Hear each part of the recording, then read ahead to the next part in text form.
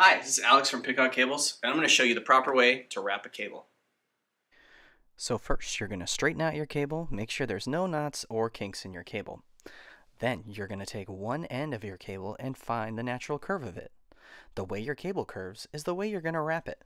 You're going to meet those curves together and do that over and over again until you get to the end. If you pull those curves over time, your cable won't coil properly and it can cause irreparable damage to your cable.